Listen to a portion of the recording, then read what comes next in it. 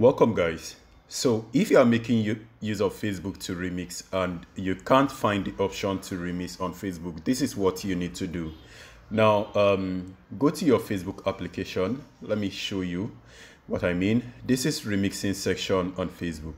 Now if you swipe left, you can click on all, it displays all um, all video on Facebook. And to remix a video, you can click on the three dotted icon and you will see the remix icon right there. But if you can't find the remix icon, um, just copy the link of that video and then go to the comment section and leave a comment on the video telling the person that please you want to make use of this video.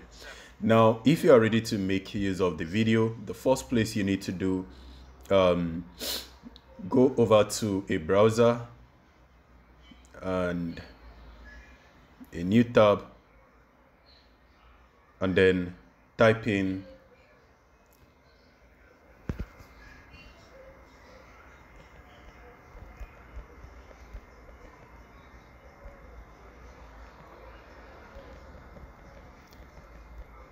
all right?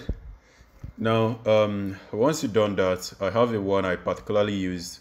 The reason why i use google is that most of these guys actually um they don't actually last forever. So um use google to search for it.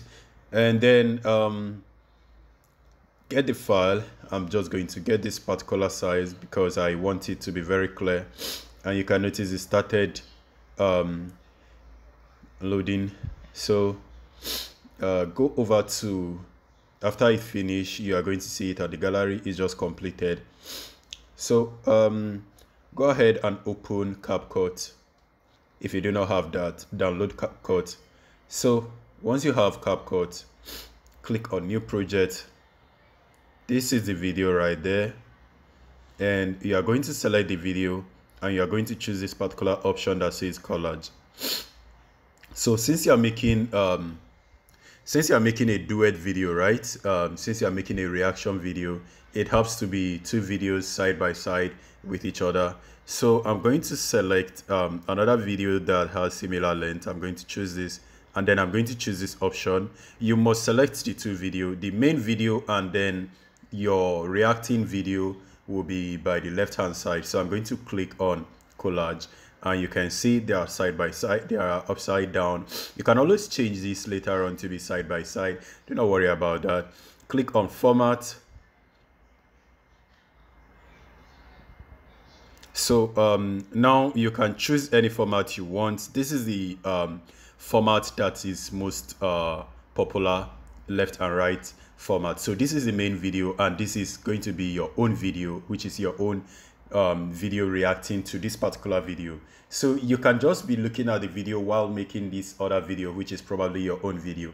So once you're done with that, just click on continue and then um, it's going to display this way so you can see, play the video to test run it. And then if you probably have a sound like appearing on your own video because this you might be talking on this video and if you want to mute this sound for any reason you can always um, click on that particular area.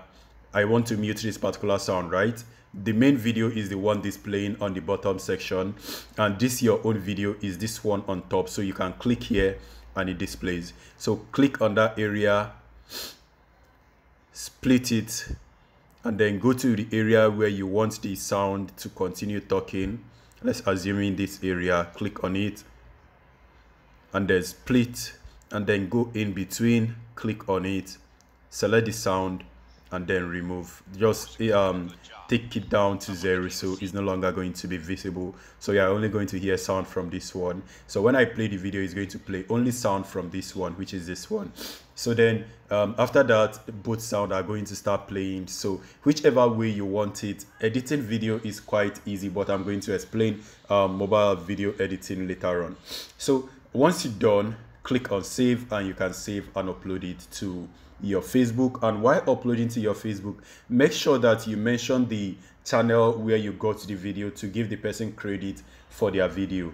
It's always useful to give the person credit. Just avoid um, copyright issues on your video. And also make sure that um, the person will also give you consent to use their video before making use of it. Because if you do not do that um, I don't know, you might get copyrighted for using another person's content. That's probably what happens on YouTube, but I don't know about Facebook. So once you're done, save up your video and you're done. And also at the end of this video, you can notice that this other video I do it with, um, the other video I said was mine, was actually stopping on this area. This is the timeline. You can see that the main video continue playing even when the timeline stop. So you can either do one thing, um, cut the main video to stop at this area um, just go ahead and delete the remaining one. Or you import another video and then you make it um, you make it end at a particular section. See? Import another video allow it to play and you notice it stopped there. Click on it.